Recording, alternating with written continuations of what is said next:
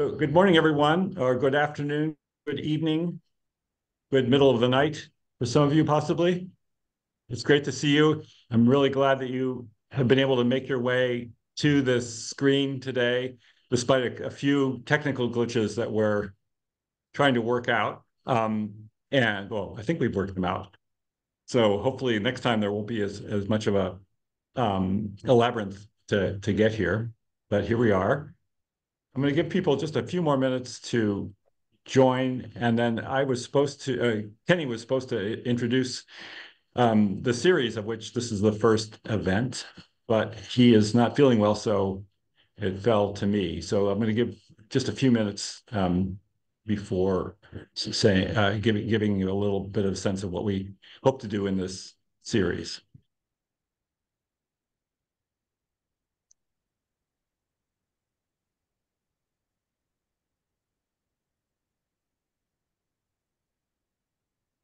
Okay, terrific. I will, uh, let, let's begin.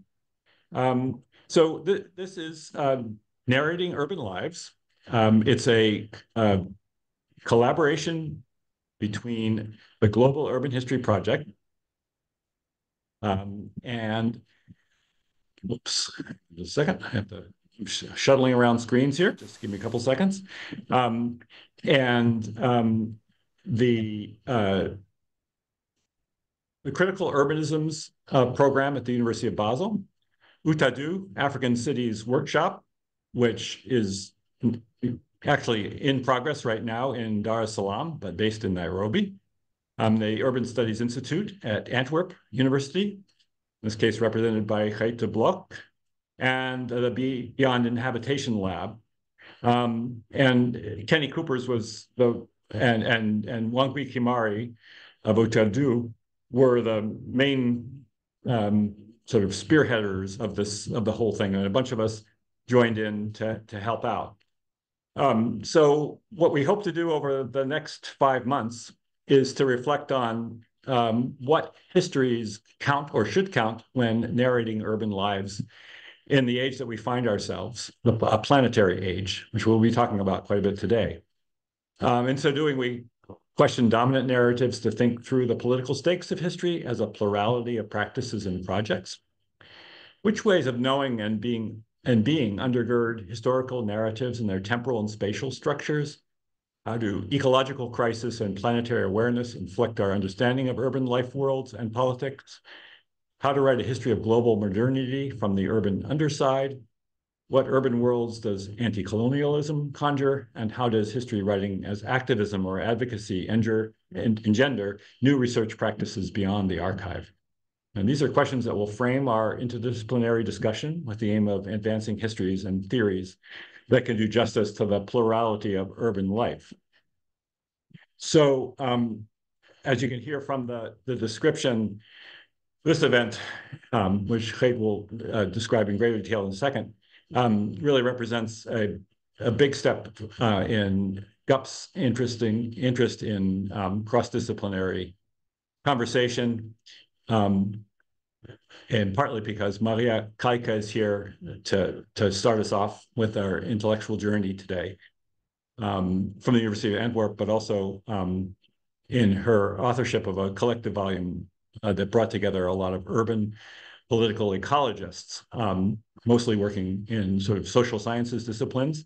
So it's it's it's really interesting to already be able to see the cross fertilization of their project with historical projects, and you know we're going to think a lot about today about how that can go uh, both ways. So that's that's a that's a big part of the, the, the program, and we also see this first event as just hopefully a first in a series of events that will explore that connection between urban history and urban political ecology and beyond. Um, so I will leave it to Kate to, to uh, pick up from there and tell us a little bit about what we're going to do today. All right, thanks, Carl. Um, so yeah, in this first session, we start with a basic, um, yet very ambitious exploration of relations between cities and the planet of course referring to recent debates in critical urban theory on planetary urbanization, and more broadly, broadly to scholarship approaching the urban, the city, not as a prime, primary unit of study, but as a part, as co-constituted in relation with other sociospatial constellations, with forelands and hinterlands, as Carl described in his book, seeing the city and urbanization in relation to material, political, cultural flows channeled by capitalism and empire, as Matthew referred to, his, to, to it in his introduction, or indeed as a metabolism in which the commodification of nature supporting urbanization pushes resource frontiers ever more further in the extended, deeply uneven urban condition, as explained in Turning Up the Heat, co-edited by Maria Kaika. For you had the chance to have a look at the texts of Carl, Maria, and Matthew, you might have noticed that all three of the essays connect the urban and environmental, cities, natures, and power, continuity and change in a very palpable way. Yet when we screen the field of urban theory, a lot of concepts out there and a lot of critiques out there are all um, grappling in fairly abstract ways in how to define the object of city, city, cities and urbanization and how to bring them together. And also in urban history, the interest in global local relations, center periphery, city nature, human non-human relation is booming Yet scholarship seems to go in two kinds of ways which are in tension with each other.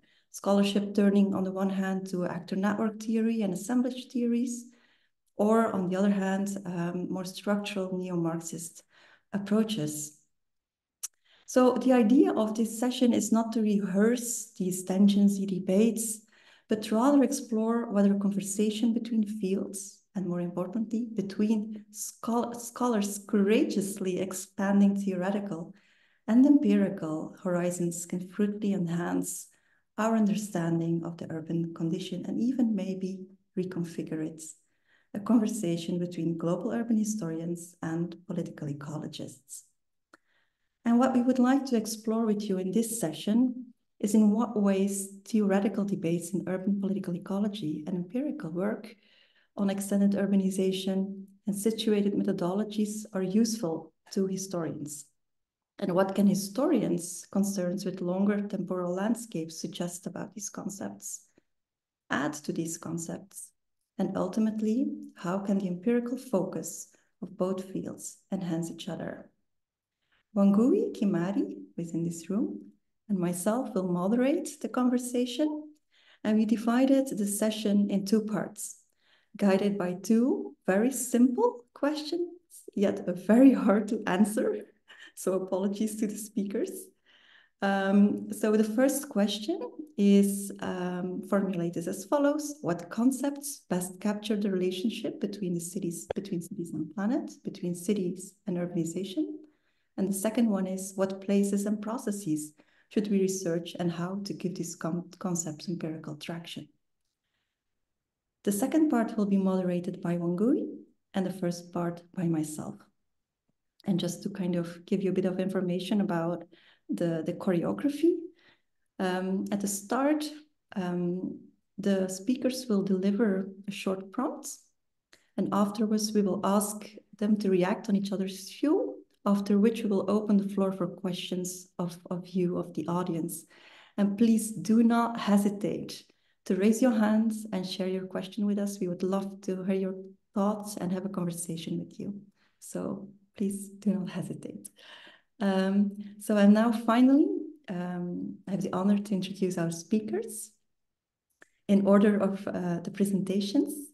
So first, it's an honor to, um, to introduce Maria Kaika to you. Maria Kaika is professor in urban, regional and environmental planning at the University of Amsterdam her research focuses on three interrelated themes, urban political ecology, cities and crisis, and radical urban imaginaries. Since 2010, she has been co-editor-in-chief of one of the leading journals in urban studies, the International Journal of Urban and Regional Research. And her latest book is an edited volume, Turning Up the Heat, Urban Political Ecology for a Climate Emergency, published last year by Manchester University Press from which you all received introduction and conclusion. Next, Matthew Vitz is professor at the Department of History at UC San Diego His research spans the urban, environmental, and political histories of Mexico. His book, The City on the Lake, Urban Political Ecology and the Growth of Mexico City, was published by Duke University Press in 2018. He's currently completing a Cambridge element titled Globalizing Urban Environmental History for the Global Urban History series, from which you all received introduction. And finally, Carl Nightingale has taught world history and urban history for 30 years as a professor at the University of Buffalo and the University of Massachusetts, and is the author of Segregation, A Global History of Divided Cities, and recently, Earthopolis, a biography of our urban planet. He's a co-coordinator of the Global Urban History Project, and his presentation today comes from the forthcoming book, Our, Our Urban Planet in Theory and History, which will be published as part of the Cambridge Elements series in Global Urban History. So a warm thank you to all our speakers for taking part in what promises to be a very resounding conversation. So let's start with the first question. So what is, in your opinion, what concepts best capture between cities and the planets? Between cities and urbanization, what concepts are most useful to understand the urban condition? And Maria, would you mind kicking off? Thank you very much, uh, for the introduction and everybody for organizing this session. I'm real honor to be here. Um, so in terms of uh, what concepts uh, might be useful, I will uh, focus on um, um, concepts within the urban political ecology framework, uh, two concepts in particular, the urbanization of nature and the concept of metabolic flows. And I will discuss how these two, urbanization of nature and metabolic flows, relate to the concepts of planetary urbanization and extended urbanization, which we elaborate in the book. So urban political ecology, I'll refer to it as UP. It's a funny shortcut, but uh, um, has a long history now. Uh, but I understand this is a mixed audience, so uh, I will say a few things. So urban political ecology is a field that disrupted the canon, if you wish, in urban studies by making two key claims. The first claim is that there is nothing unnatural about what we call cities everything we see around us in cities, bricks, steel, concrete, asphalt, are metabolized and engineered flows of natural resources, which are put together and um, modified, metabolized through human labor, capital investment, and technology. And this process is governed by power relations. The second claim UP, Urban Political Ecology, makes, it equally, there is nothing natural about a forest or a park. Uh, these are also the outcomes of historical layers of metabolic flows between geological processes, go back deep history, human and non-human labor, capital investment, and technology. So UP claims that there is no city as such, there's no nature as such. There is a perpetual process, which I call the urbanization of nature. Uh, so this way of conceptualizing the relationship between city and nature as a continuum of socio-environmental metabolic flows governed by by uh, power relations, this way of conceptualizing both city and nature, or rather surpassing the divide between city and nature, is closely linked, and it gets a lot of its uh, um, mastered, if you wish, from uh, planetary urbanization as it uh, also as it was elaborated by Lefebvre originally, but then uh, further by other many other very important authors. Uh, and planetary urbanization here, of course, we refer not only to the fact that uh, more than half the world population now lives in cities, but more importantly, to the fact that even those who don't live in urban environments um, or places defined as cities, they are directly or indirectly involved in assuring the continuation of growth and the global ur urbanization process. Um, so um, human and non-humans across the world globally linked through the circulation of water, energy, fat, chemicals, viruses, disease, etc. And it's vitally important to recognize that galloping planetary urbanization is the main driver for irreversible socio-ecological transformations. So UP examines how uh, what Brand and Wissen uh, termed the imperial mode of living uh, in core urban centers is made in the global north and south is made possible only because it's possible to extract presumably unlimited and definitely underpaid power, energy, labor, land, and natural resources and pollution sinks at a global scale. Core cities can afford to become smarter and cleaner only because they can dump their externalities elsewhere. As I put it, our increased sustainability and our increased smartness in cities is someone else's socio-environmental disaster. So if we focus on urbanization of nature and this global social uh, metabolic flows, climate change then is not some kind of collateral damage of capitalist urbanization, but climate change is part of the very modus operandi of capitalist urbanization. And in the perpetual uh, quest for growth, uh, capitalism creates uh, what we call uh, hybrids and cyborgs, uh, objects and processes that are neither purely human nor purely natural. It creates new ontologies, new landscapes, uh, but also uh, new ontologies of human, non-human uh, actors from damped rivers, embanked rivers, fractured engineered landscapes to entities that blur the the boundary between human and non-human, like Dolly, the cloned sheep, if you remember, uh, back in late 1990s, to the coronavirus, zoonotic diseases, to artificial intelligence. So today, the dynamics of growth produce these violent and feral forms of urbanization that blur further the boundaries between inside and outside, core, periphery, and lead to new waves of destruction and inequality. Uh, we have new forms of urbanization that are very important. Corridor urbanization, extend, extensive suburbanization, employment zones, office cities, infrastructure zones, production zones, logistic cities. And these are no longer hinterlands that serve some kind of, of, of core. They are forms of urbanization that create new and layered dynamics of growth and decline densification and de-densification, and they promote, of course, new forms of inequality, marginality, exclusion, and environmental uh, hazard. So although planetary urbanization for urban political ecology still remains a very useful concept, it has received a lot of criticism over the past decade that it's not situated enough to deal with the ontological complexities of contemporary urbanization, and also that it is a concept that always speaks from the core outwards and, and so uh, fails to, to um, speak from um, outside. So in the book, Turning Up the Heat, we propose uh, extended urbanization as a concept that can uh, perhaps unify us uh, and to go beyond the navel gazing academic navel gazing of these ontological discussions. What is a city? What is the best way to describe?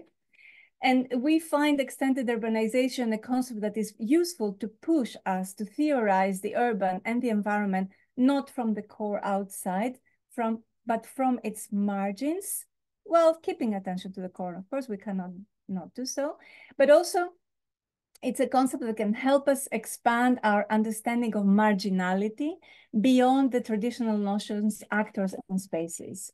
So to complete my five minutes, um, eh, we, we make a call to focus on extended urbanization. Um, and this call is linked, of course, to the calls for more situated uh, urban studies coming from scholars mainly working on and from the Global South. Uh, from post-colonial feminist and intersectional scholars.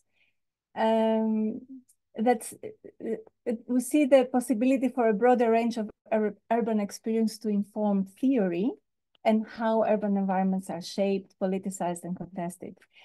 Uh, but this call to focus on an extended forms of urbanization and the urban political ecology of these is uh, not only a call to pay attention to different modes of power relations and uh, around the urbanization of nature, but it's also a call to decenter the very position from which research and theory itself is being produced and is being developed. Um, yeah, I'll, I'll, stop here. I hope I haven't uh, overextended my five minutes. Perfectly timed. Thank you. Thank you so much, Maria. Already so much to discuss. Yes, well, thank yeah. you. Thanks. Um, um, so we will move to the next speaker, Matthew. I can't see you right now. Hello, yes. There you are. Thank you. Um, so the floor is yours. Thank you, Maria, for for kicking that off. That was that was really generative. So much to to think about there. Um, and I also want to thank Carl and uh, Greet for for and uh, and everyone else involved for putting together this this really you know unique conversation between global urban history and and UPE. Um, and as a as a relative newbie to global urban history, I'm I'm very honored and excited to be to be here today. Um, for me, and I'm I'm going to throw out a couple of concepts which I think um, can be can be fruitful, can can help us um, uh, kind of theorize uh, and think about this relationship between city and planet over time. And for me, as an urban environmental historian who has done uh, research precisely on these questions of extended urbanization, metropolitan natures, metabolic and energy flows, urban metabolisms, um, I've really come to see cities as uh, concentrated regimes of power that are also kind of differentiated by, by historical and spatial processes. Um, for example, various modes of production, um, but not only historically uh, capitalism, um, as well as, as imperialism. Um, and by a, a, regime of power, I refer to, of course, political power, um, but also material energetic power the water, the fuel, the foodstuffs, and and the quote unquote produced nature that that compose uh, cities. So these conditions have meant that cities, or rather the rulers of them, um, and not always or necessarily just elites doing the acting, um, have expanded the reach of the urban outward in ways that um, have been contingent on their particular sort of historical, material, energetic possibilities, um, as well as uh, their sort of political might and, and wherewithal to expand. Um, and to understand those conditions that I outlined and to understand this uh, expansionary process, um, or perhaps if we're thinking with, with Carl and his text, um, we we should be thinking more of them as as quote unquote projects of producing and deploying power. Um, but in any case, I want to propose that we we um, consider um, and that we develop a concept that um, the urban historian Chris Otter developed about a decade ago, um, and that's called the the technosphere or the global technosphere. Um, in Otter's view, the technosphere comprised of all of the technical and infrastructural networks that produce. Excuse. Oh, sorry. Is can everyone hear me? Yeah. Okay. Um, uh, is right. So the in Otter's view, the the technosphere comprised of all of the technical and infrastructural networks that produce and deliver uh, urbanized nature to out of and between uh, cities. His purpose was to divide the concept that captured the urban explosions that Brenner and Schmid so beautifully explain, but that which wouldn't conflate social relations and landscapes that have remained quite rural um, with an with the, the sort of the urban um, and cities themselves. So this to me is quite useful, but I also want to expand on its definition a little bit. Um, the technosphere um, also invokes uh, tools and rationalities, technologies of, if you will, of, of governance. Um, and here I'm thinking of the long history of urban techno-managerialism um, rooted more often than not, or perhaps invariably, in certain environmental logics or rationalities, right? Around race, around hygiene, um, around sort of ideas of the conquest of nature, um, nature as a commodifiable uh, set of resources, uh, also around, um, at times, um, sort of environmental malleability or cultivation, um, and most recently around ecology or quote unquote sustainability. These technologies of, of governance, of power, uh, may differ across or do differ across colonial and metropolitan spaces, um, but they are also surprisingly consistent. Um, so these components of the technosphere have had a tendency to enwrap ever larger spaces, um, comprising both the human and the non-human, right? And what Maria calls, um, right, the cyborg or the hybrids, um, into these kind of urban networks of power, both politically and materially. So um, time permitting, and I think I do have, um, I hope I have a few more minutes here. Um, I want to make one more point here about the relationship between city and planet.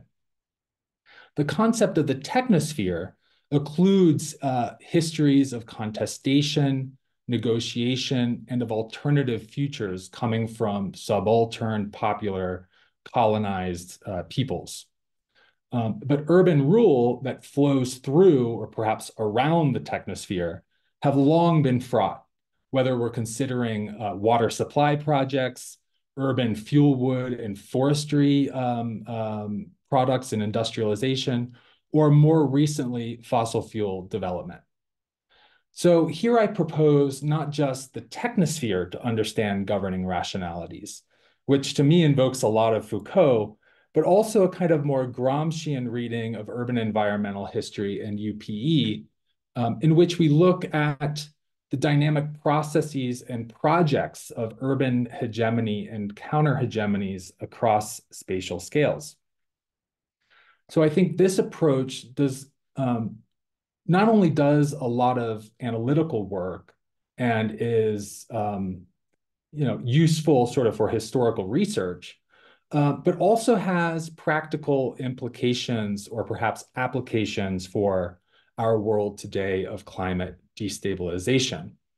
Um, and I'm thinking here, especially as sort of this framing of hegemony, counter hegemony, urban hegemony, counter hegemony, um, especially as it relates how we can build um, and what constitutes um, a quote unquote counter hegemony. Essentially, for me, this revolves around how to dismantle the most um, explosive, if you will, component of the global technosphere, uh, what um, urban theorist uh, Carola Hein has called um, our global petroleumscape. I realize that this opens up maybe a, a big can of worms, right? This is a topic way too complex for me to be able to delve into now. Um, but I'm happy to discuss more my perspective on this sort of hegemony, counter hegemony within sort of extended urbanization or global technosphere. Um, um, I'm happy to discuss my perspective on all of this uh, during during the discussion. Um, so I will, with that, wrap up and and thank you for very much. Thank you, Matthew. It's it's um, so it adds a very strong historical dimension now to the to the discussion. Um, and now we move to um, Carl. Yes, thanks. Great, and thank thanks. Yes, can you can you hear me? Okay. Okay, thanks, Matthew, and thanks, Maria. Those are fantastic uh, introductions to what we're trying to do to, here today. Uh, my my um, contribution dovetails a lot with some of the things you've said, and also, you know, maybe also rubs up against it in, in occasional places. And I, I think those are going to be really interesting topics to to think about. Um, and uh, the the thing that I gave out to you, um, the, the, piece I gave out to you is is is um, arose from a an impulse that we've been supporting at the Global Urban History Project to encourage urban historians to contribute more to urban theory than we have up to now. And it's great to see Matthew doing some of that, uh, some of that work um, in a really, uh, really uh, creative way. Um, so it's it's the it's the introduction to this our planet, urban planet and theory history, uh, my element and the Cambridge elements. Um, and from the preliminary thoughts that I offered in that in that reading, the element goes on to offer seven propositions, um, each of which is a variation on the theme. And the theme, the big theme is this. Um, it's the historical relationship between human space and human power. Um, making space, including all spaces we call cities and spaces we designate as urban, is not sufficient to making human power, but I believe space is essential to making power, and vice versa. So the relationship is a dialectical relationship. Um, it goes both ways. It's also historical. It can be analyzed over time, and um, it changes in response to its own internal unpredictability and to many other historical forces that it uh, helps to set in motion um, and that set it in motion. Most important is the simultaneous history of human acts to harvest energy from the sun and earth, which Matthew and Maria both uh, alluded to.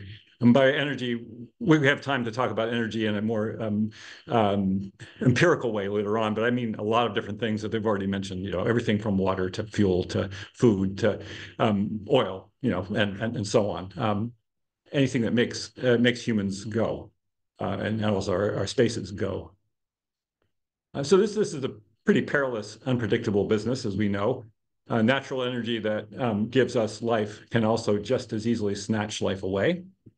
Um, and producing human power by means of concentrating natural energy in cities and urban spaces is also a perilous business, almost as likely to destroy as to create. Um, I, I, liken uh, the, this effort to, uh, um, to a kind of existential bet that we made, um, apparently quite consciously, actually, when we first built cities 6,000 years ago. The history of cities is not only the history of um, about producing space and power, but also about how we amplified human space and power um, to a greater degree in cities than we could in any other type of space so far in history.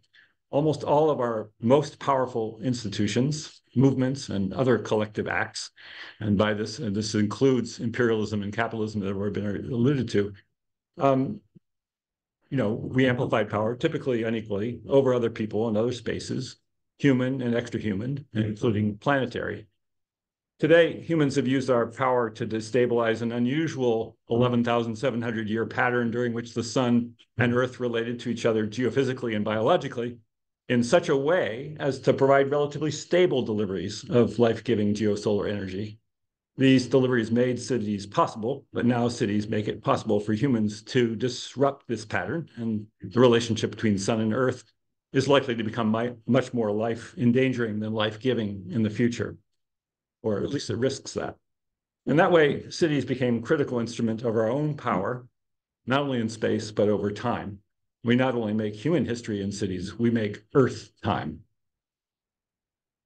This um, this sort of central theme relies on arguments about cities and the urban. First, cities, I think, must remain central to any concept of the urban. No urban condition exists without cities or existed before there were cities. But cities alone are insufficient to understanding how their production led to new possibilities for amplifying space and power and human and human extra-human affairs. We must extend our concept of urban as Matt and Maria and others have argued. But as we do so, I think we have to also recognize that extended is not sufficient um, geographic category to classify all urban spaces. My arguments about cities and power start by dividing the urban into three parts. One, cities, two, spaces that make cities possible, generally hinterlands. They could call, also be called a variety of different other things. And three, spaces that cities make possible, or what I call urban forelands. Each of these can be further divided in ways useful for empirical research, and we'll talk about that later.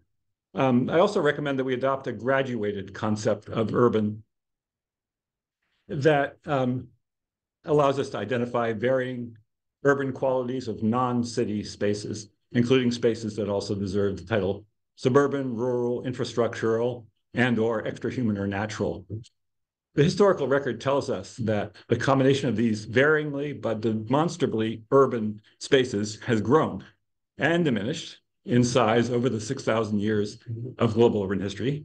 And at reasonably identifiable times, the sum of cities plus urban hinterlands plus urban forelands accelerated to planetary dimensions.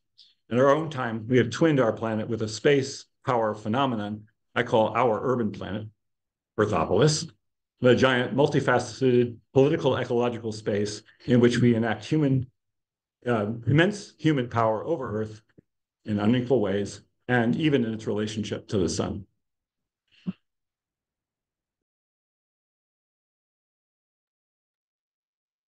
Thank you so much, Carl. Um, so nicely um, interwoven history and, and theory. Um, I see a lot of um, alignments, but also some friction uh, here. So maybe um, uh, would you have reactions to each other's prompts? Or would you like me to ask questions? Either is fine. Either is fine. Okay, then maybe um, you choose first. Uh, maybe you can react on each other's prompts first. You want me to go first? You you can yeah sure Maria thank you. Uh, thank you, uh, Matthew and Carl. This is uh, great, and indeed there are lots of commonalities. Yeah, I wouldn't call it friction. Um, just to react, there's so many, but let me just react to one for Matthew, one point, and one point for Carl. Um, for Matthew, uh, yeah, this um, uh, I actually fully agree. This global technosphere is a very, very useful um, concept and entry point for understanding this uh, global process of urbanization and power relations. Um, and with this uh, in UP, with uh, Erik Swyngedouw, for example, and uh, um, uh, Alex Loftus as well as used uh, the concept of techno-natures. And um, um, so this this is well aligned. I think we're very well aligned there. But I want to point out that one one uh, place where we're think the important place is that we're looking at the same direction. So behind everything that we've said, all three of us, we're looking at ways uh, forward, uh, ways to disrupt uh, existing power regimes and relations, and how we can uh, mobilize these um, yeah, different, uh, for example, in, in Matthew's case, is global technosphere to do that. And um, I just want to bring in the discussion, throw in the discussion a, Matthew, you're probably aware of it, this emerging um, movement of infrastructure activism. And uh, uh I'm uh, currently involved in two pro projects, one project in Amsterdam, we're doing one project here where we disrupt uh, the infrastructures of planning for urban green and see how, how with it's with Deborah Solomon and Carolina Neveja. And uh, indeed, there's a lot of uh, leverage there. And I, I think at this point uh, of time, and given the global state of affairs and global capitalism, uh, to me, it's very important to find levers, like, uh, and those have to be real material and that's why infrastructures are so important in technology because they can't be mobilized as leverages as these infrastructure activism cases show so well. So yeah, and one point of reaction, I don't want to take up much time to Carl, is um, yes, I I I I, I really like this uh, gradual uh, concept of uh, urban, um, and in a way. Um, you know, what I described as extended urbanization, I don't find that as antithetical to what you say. Um, but I think, uh, again, in search of uh, mm, artifacts, technologies, or places that can become leverage for change, uh, what we see today across the globe is that these radical imaginaries that disrupt uh, the he uh, global hegemonic power tend to come from places of the margin. And this is one reason why, uh, in my view, uh, we ought to be paying more attention to this place. And we do actually. All three of us, I don't think we disagree on that. This is for me one important reason why we need to pay more attention to that. But then the whole process of uh, linking or scaling up or making those uh, small pockets of alternative thinking and acting and praxis transporting them geographically and even historically. This is this is where the the big labor uh, is required uh, both political labor and praxis and um, uh, conceptual labor and uh, research and all that. Thank you. Thank you maria. Um, indeed there is this um, clear um, network line between all of your talks, um, connections, kind of the material political um, dimension of um, networks and infrastructure. That is kind of, kind of a very palpable entry into the into urbanization, um, as well as kind of the, the the the political concentration of power um, the concentration of power in cities. Although I do see, have a feeling that um, um, the theory, um, the proposed extended urbanization, uh, proposes to look at uh, power concentrations outside cores. As well, well as uh, to pay attention. I mean, we all know it, it, power itself has shifted radically. The, the big uh, pockets of power are no longer states. You know, you have global elites uh, that uh, um, exert um, as much financial power as empires used to.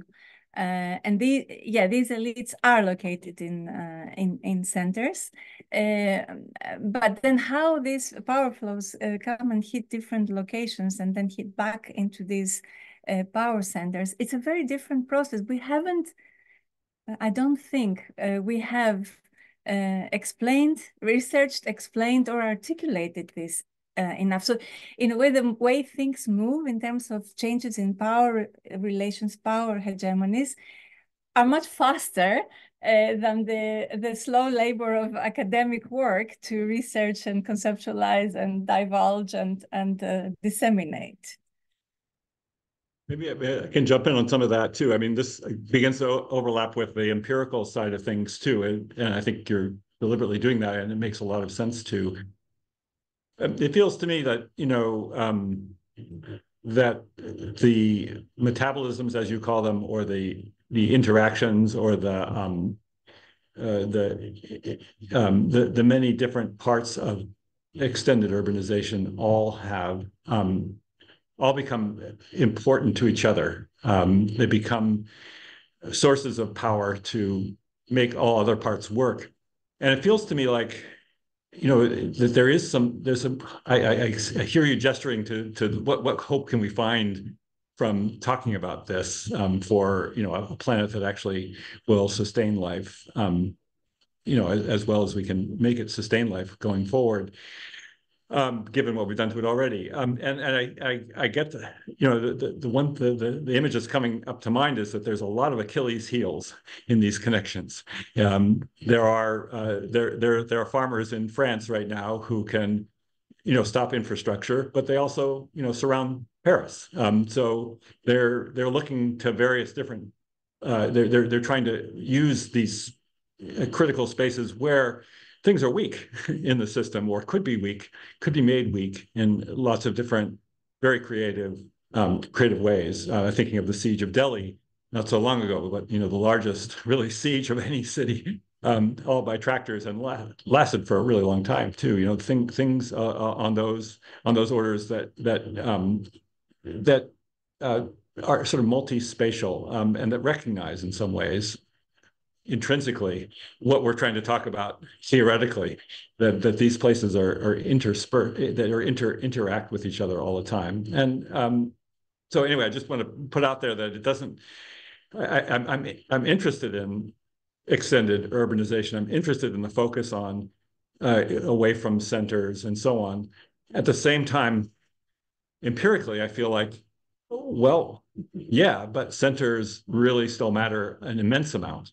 Um, they, uh, you know, the the elites you just mentioned spend huge amounts, invest huge amounts of money into those centers. They've been multiplying um, drastically over the last during the same time that ur urbanization has extended more uh, radically in all other directions. And um, and they're still very important to states. States cannot do without them. Uh, uh, empires cannot do without them. Capitalism cannot do without them. Uh, international um, uh, elites cannot do without them. And um, and so they're they remain important. And I guess I you know I want I want the entire urban to be at play here. And I think that the entire urban has to be at play in order to really disrupt some of the worst things that we're using cities for and and the urban for. But Matt, I bet you have some thoughts on this too. Yeah, um, I just I'll I want to thank you, Maria, for for um, bringing up the the sort of the the infrastructural activism that that um, has been going on and that and that many different people have proposed as a course forward. Um, and it reminds me of this this movie I watched about a year ago, and I'm blanking on the on the title. Um, but it it takes place in in somewhere, I guess, in the western U.S. Um, and it's it follows about four or five eco activists who come to detest fossil fuels um, in different ways based on their own kind of personal experiences um, uh, in in both cities and in in more rural areas, um, and they come together, uh, and and it's all about how they you know how they want to take down a a pipeline. I think actually it's called. I, I think it's actually the title is uh, Malm's the title of Ma Andreas Malm's book, How to Blow Up a Pipeline. Now, now that I'm remembering, yes, it's the title of the book itself.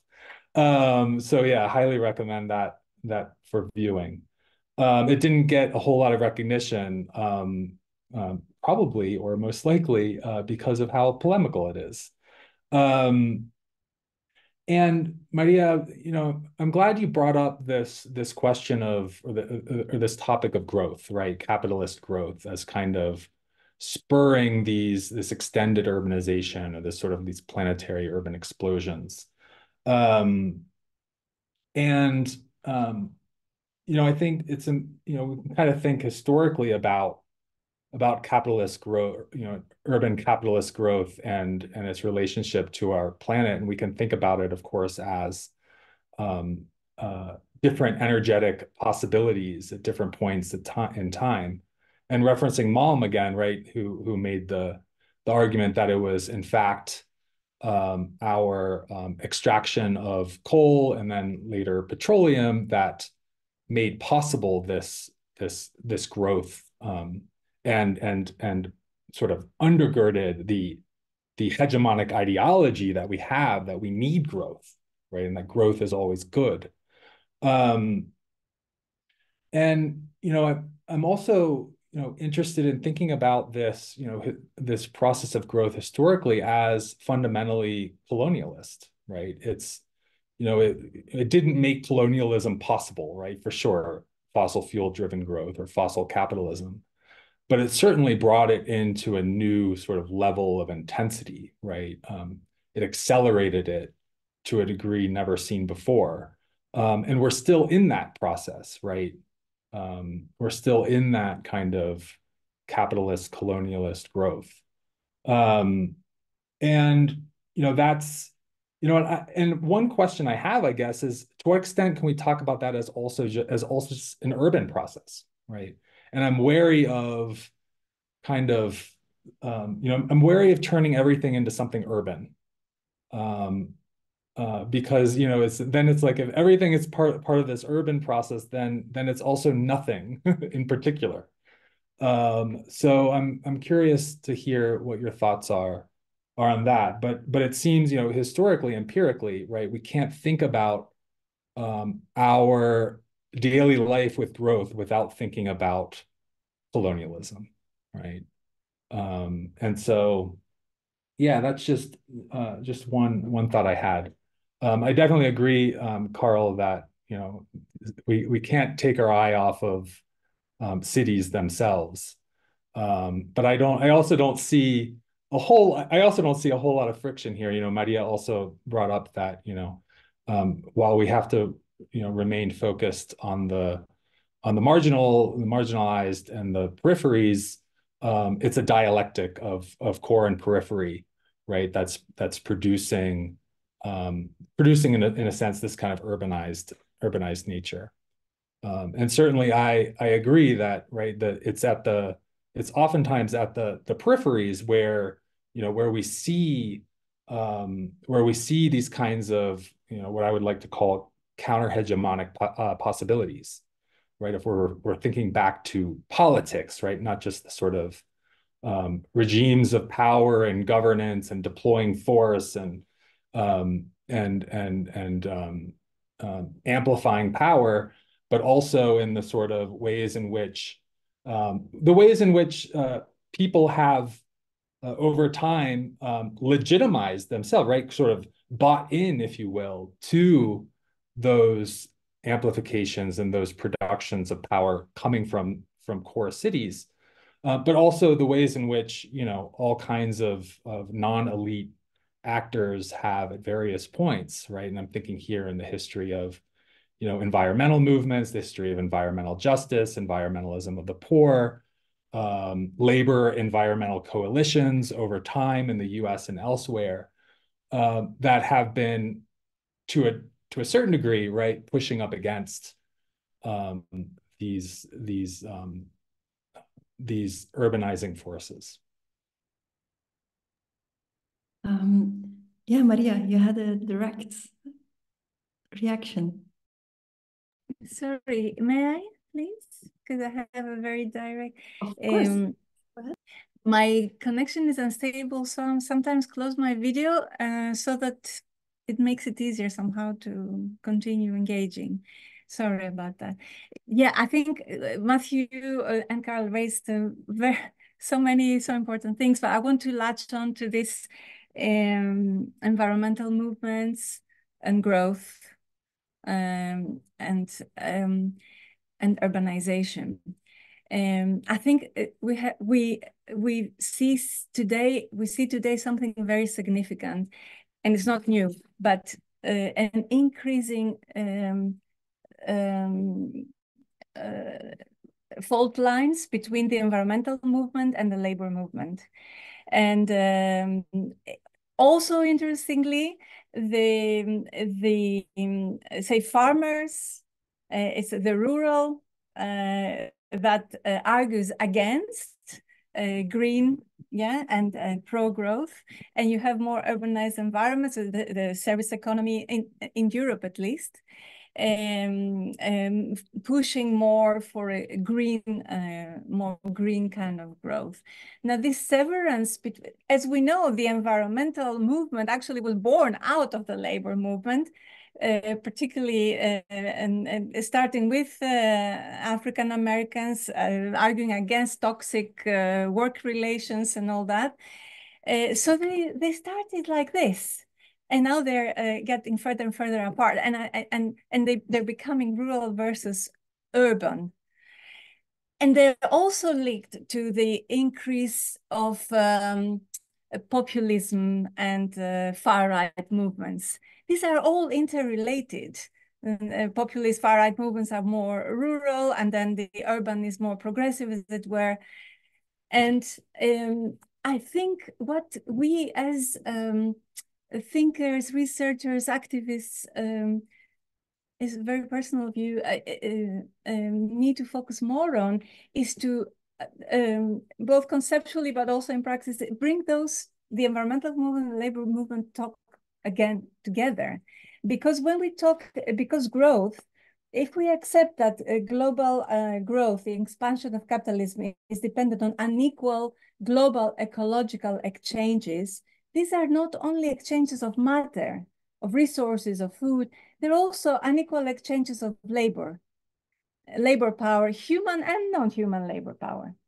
And uh, I think we need to weave that uh, seriously into our account of how we produce urban.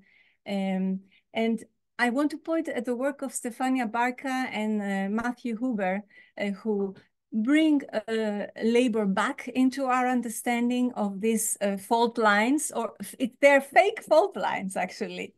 But they are people, we don't want to go into that discussion about ideology or not, but they people perceive them as real material fault lines. When it comes to their livelihoods, people feel green, green, greening or um, post-growth as a threat to their jobs. And it is a threat to the jobs. But in parallel, we see um, a number of very enticing uh, movements from um, uh, laborers, from people who work in factories who have been laid off or factories that have closed in Italy, in the US, in Bosnia-Herzegovina, who take take over the factory in cities and try to produce a, a new type of uh, post-growth uh, or green greener kind of capitalism or non-capitalist social relations or um, you know uh, less unequal uh, uh, power relations. So it's a very exciting moment politically speaking and all these are, things are happening in parallel. The horrible uh, you know the the, the um, uh, green growth as a green uh, as a growth engine yet again uh, in, in, running in parallel with populism and uh, far right movements running in parallel with mm, wonderful alternative imaginaries and infrastructure activism.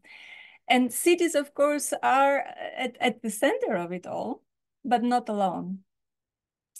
And I'm, I'm not I'm not hooked up on on extended urbanization of cities. But one last thing, and I'll shut up, is that um, and and I while we academics um, and I I'm um, equally responsible um, spend a lot of effort in debating the urban. What is the city? How do we define it? Actually, cities become even more important in uh, global uh, international politics. Uh, the uh, Sustainable Development Goals, for the first time, the, the new urban agenda puts cities at the heart of change. But this is a techno-managerial type of, uh, of uh, cities are put at the heart of it because they can produce economies of scale in a techno-managerial approach towards uh, greening capitalism. And I think, yeah, this is the kind of, of uh, procedures we need to resist against, in my view. I'll shut up. Sorry.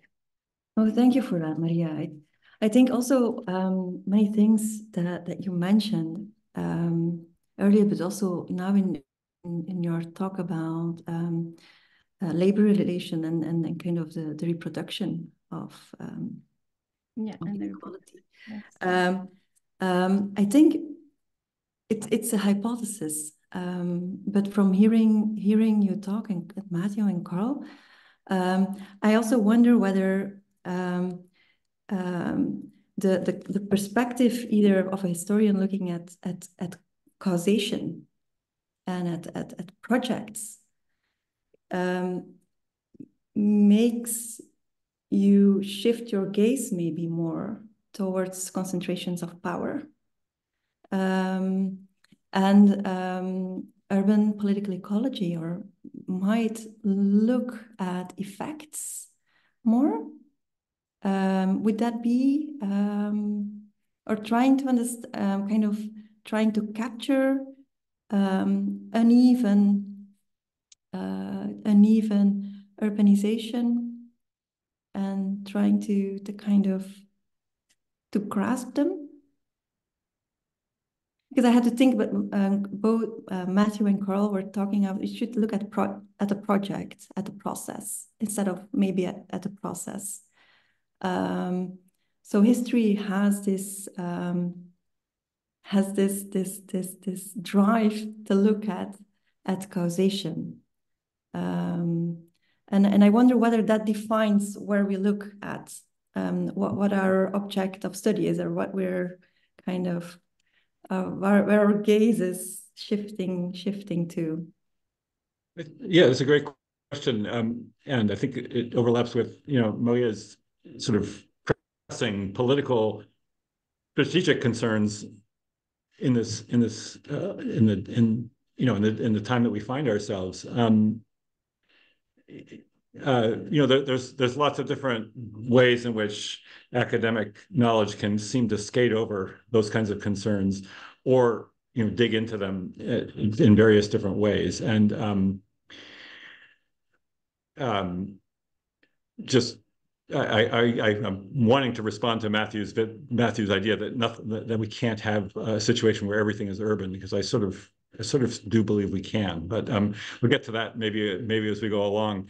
Um, uh, I, am thinking about the different ways in which we think about uh, causation, and I think in social science too, we have a lot of words that end in IZA, I-Z-A-T-I-O-N, you know, ization words that are meant to, you know, clarify that this is a big, huge process, and the people who are pushing it forward probably can't individually stop it, you know, or even even the most powerful people in that can't can't probably stop it on their own. You know, it's it's sort of this thing that goes off and and and and and operates on its own uh, internal dynamics in such a way that it, it's almost become a machine. And um, you know, I, I think I think there's there's room for that um, in history as well. We've certainly adopted process in a big big way. Uh, we use process all the time, and we've been we've inherited from social sciences uh, how exactly is an intellectual history that somebody should write. But um, yeah, I, I, throw out project just just as a kind, and I think Maria, you'll you'll appreciate this that that the um, the project is brings it more to a human scale. It says here here are the people who are living urban lives. Here are the here are the um, uh, purposes that they have, the, the, intentions that they have. Here are the alignments that they build in order to get those in, intentions, um, it, you know, enacted in some way or another. And here are the obstacles they face. It's a very my my uh, my daughter took a literature class in third grade, and and and the the, the teacher said, okay, all stories are somebody wants but. So, and I think that that kind of uh, narrative, like get, getting is kind of the molecular. It feels to me like the molecular um, molecular stuff of of causation ultimately, and um, being able to get, to get to that to see processes probably going on, but also to see how they uh, how they come into being through those um, somebody wants uh, but so uh, uh um, you know, that's that's what we see when we open an archive box. I think maybe more than you guys see when you have a data set or those kinds of things. We see people, you know, it's it's a mess. it comes out. It's we have no idea half time what what kind of what what part of that story any any one piece of paper that we look at um, tells. But we have to put it together and one way we can do it is go to social science and say, okay, this, you know, this capitalist processes going on here. It's very clear. Or we can say, you know, somebody wanted, um, but so, and and I think I think it's just two different ways that we ought to all have in our toolbox, maybe. Um, and I just tend to want to see the other, to, to see the more, you know, the urban lives, narrating urban lives really requires a matter of narrating urban lives, um, not necessarily narrating urban processes. That's that's that's mostly my point of that. I don't know, Kate, if that gets anywhere close to what you were you were yeah, yeah it's, it's, of course. I think it's also a kind of um, uh, maybe a moment here to to to turn to the audience and um, ask for their input. Um, I, I think the chat is disabled, so uh, yeah, I will open the chat. Yeah, um, but but please um, raise your hand and you can just ask the question in person.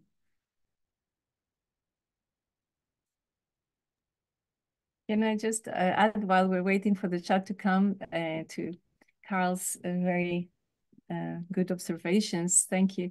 That I mean, I would be the last person to argue against focusing on the urban.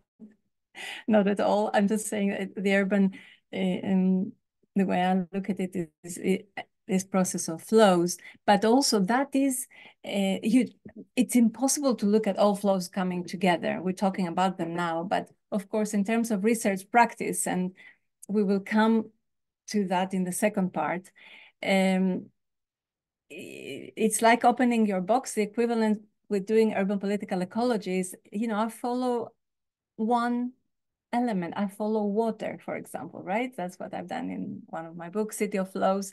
I follow water and the history of water and how water, uh, in order for us to turn the tap leisurely in our home and get water, what what does it take?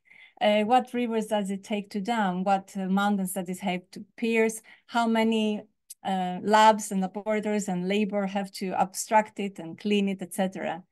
Uh, so we need to focus on one uh, element or one box, if you wish. Otherwise, we can't say anything uh, meaningful, as it were. So I fully agree with you, Carl, on that. Great. Uh, forgive me, Uh, but would you prefer Yes. to, would you prefer Go us to, uh, to, uh, ask our questions in the chat or should we raise No, our I, I think it I would prefer you ask them in person. Okay. Um, but if people feel more comfortable asking it in the chat, they can do so. But if you're okay with asking it in person, just go ahead, Rosemary. Do you have a question? Uh, certainly, thank you. I think Matthew is going to uh, respond as well, but um, I, I will throw this out, and it's a, a question about broader geographies of understanding as, as researchers.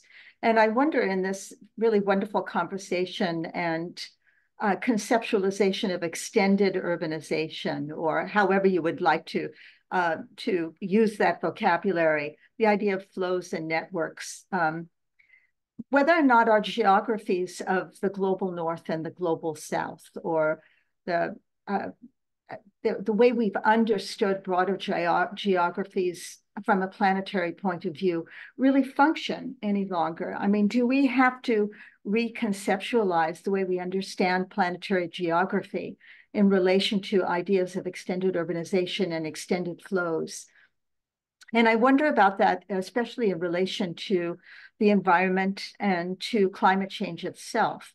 Um, that is going to force changes in how these flows take place and how extended urbanization exists. So, um, you know, I wonder if we're placing um, all of these really outstanding conceptual understandings of the urban on what is an older geography um, in a planetary sense. So I, I will just throw that out there. I'm not sure if I agree with what I'm suggesting, um, but I'm, I'm, I'm simply wondering when I look at our, our global geography, whether it makes sense any longer, um, given all of the strains and crises that are taking place around climate change and around this new understanding of, of extended urbanization.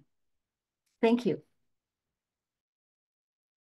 I'll just say one word, which I think uh, Maria really um, brought up very well in the beginning, and Matthew, it was throughout um, his remarks was probably a little less um, central to what I was saying. I mean, all of these things operate in, on planes, you know, incredibly unequal planes, um, and uh, are you know what we call the global north is riven itself by massive and growing inequalities, let alone the global south, which is driven by its own you know massive inequalities and and divergences and so on and in some ways you know they could be i think it's just important to remember that whenever we talk about power it's being exercised it, it, almost by definition is being exercised unequally.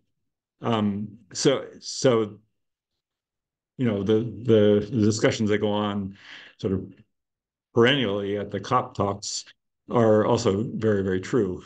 The amount of you know carbon that the global north produces is far far far outweighs the carbon produced in um, the global south traditionally defined however we want to do it. We have to take china out of there um, uh, which is a tricky thing too. Um, we know that.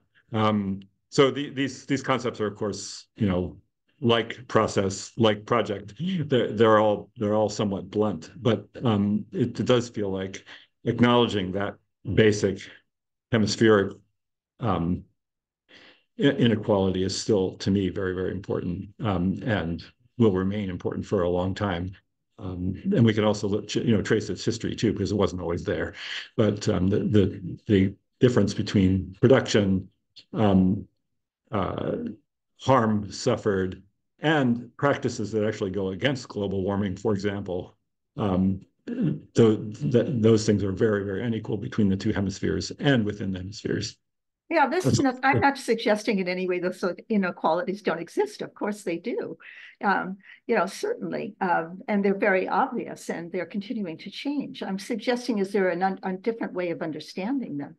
um, as, as we move forward.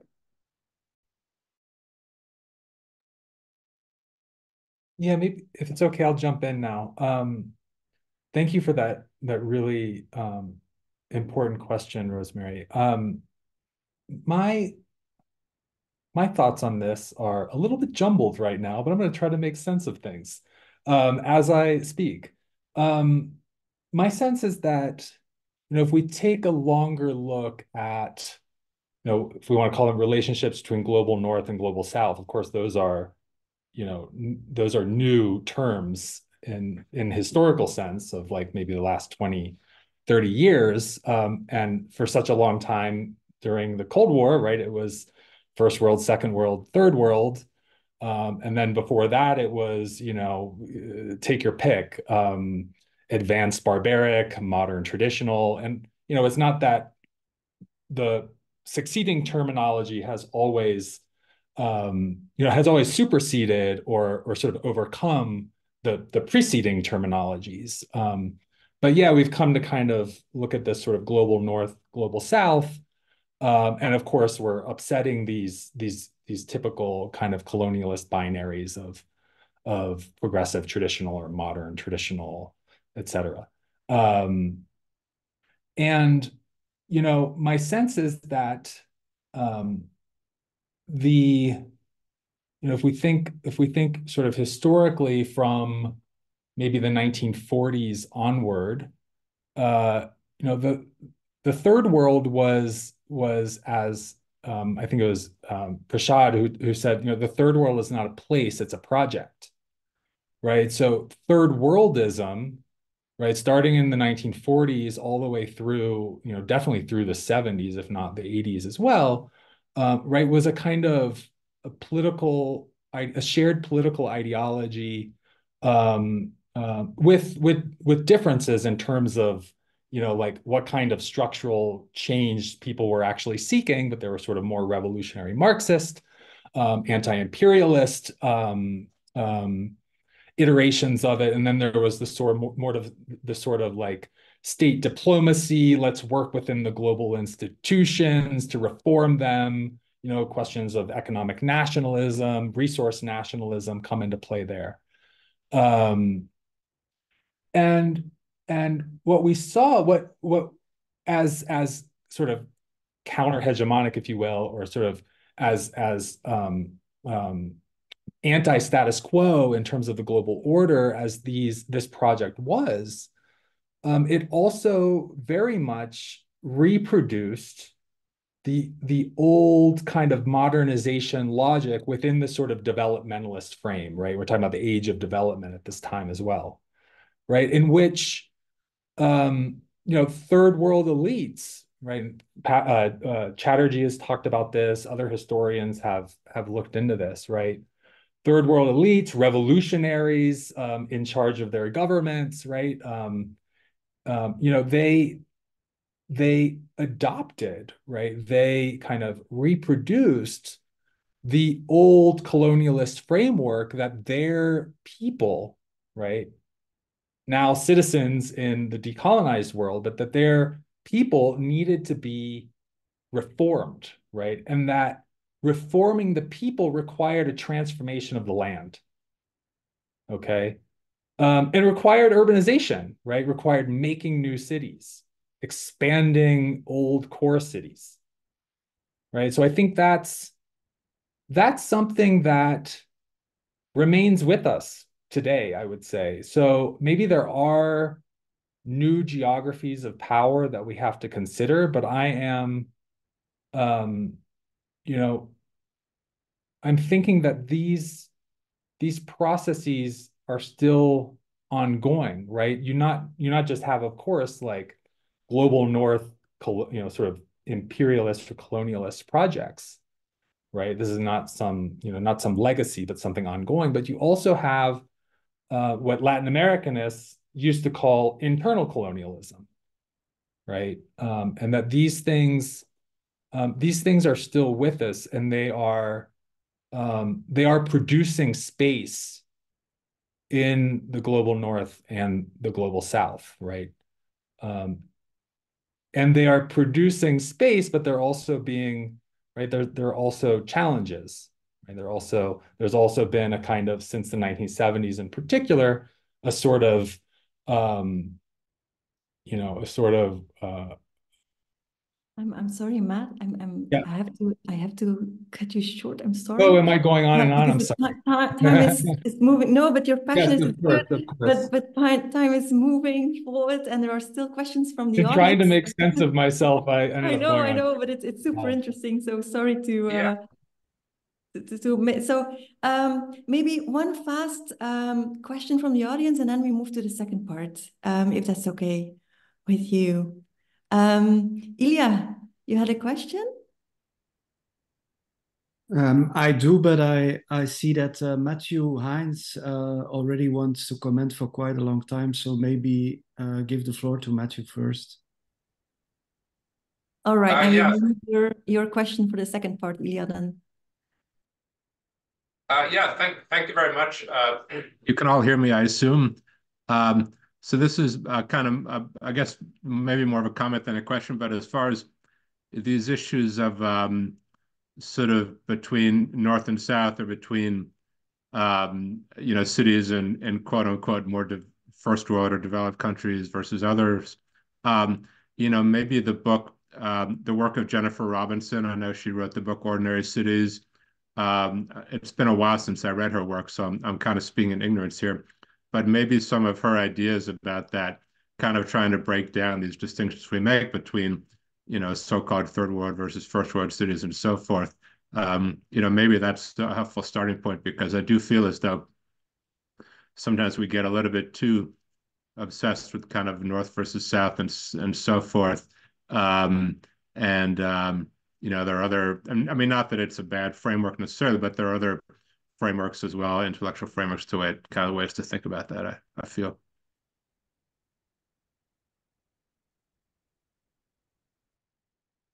Yeah, thank you for that reference, Matthew. Um, the comparative urbanism um, um, discourse is for sure very relevant here. Um, Ilya, just Wangui said to me, give the floor to Ilya before we move on. so, uh, Okay, that's that's. Uh, thank you very much, Wangui. Um, no, a very fascinating uh, discussion and and fascinating uh, material also. So thank you for um, um, exchanging all that material and organizing this this very um, uh, good discussion. Uh, so I had, I had several uh, remarks that might touch on on some of the things that you said. Um, so I agree with um, uh, with Matthew um, Witz that that we should be weary of indeed turning uh, everything in, in into the urban. So the the concept of of extensive urbanization seems to be quite liberating, but also maybe holds the risk. Uh, I was thinking of indeed turning everything into the urban. Um, um, and I'm I'm also thinking about theory that is out there um, as starting as as Maria also outlined uh, with that notion of planetary urbanization, uh, especially if you link it then to to this notion of of operational landscapes, uh, which is also sometimes used in in connection to this. Um, that we get we that we then also start to see or start to look at rainforest or for instance the arctics um, as being part of that uh, uh, process. And I do see how they are connected to economic processes, processes of, of, of um, uh, economic extraction and so on and so forth. But isn't there a danger that we uh, lose our focus on uh, the city understood as a kind of nucleated settlement? So the city as a, as a place where where there's urban living going on in a social and cultural meaning of the word. So where the living in some way or another is is different than in in other types of settlements. So um, so there is this this this continuous uh, friction there uh, that especially in urban history, what we are looking at is is in a way also urban living and how urban living matters and how urban living is going on in, in this kind of nucleated settlement, uh, which is meaningful from a social and cultural perspective. But then if we bring in notions of, of extensive urbanization, I think they really make sense from an economic point of view, but how are they also related to to the notion of of how does it feel to live in a city? Like more the notions that that uh, Georg Simmel and the like were really interested in to to study.